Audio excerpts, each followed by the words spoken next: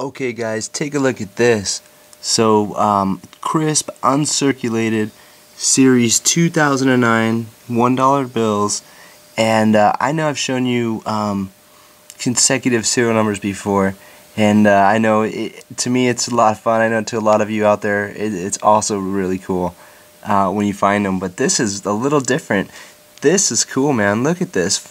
We got from 77 all the way down 76 75, 74, 73, there's 2, there's 1, 0, 69, 68. Alright guys, so there they are.